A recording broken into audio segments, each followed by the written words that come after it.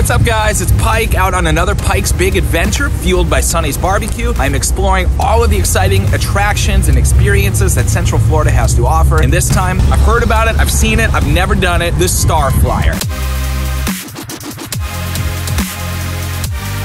Before we head to Icon Park, of course, we're gonna get some Sonny's. Yum yum yum yum. Yum yum yum yum. That was delicious. Now, Star Flyer, we're coming. All right, I guess we're just doing it. Oh my gosh, this is so cool.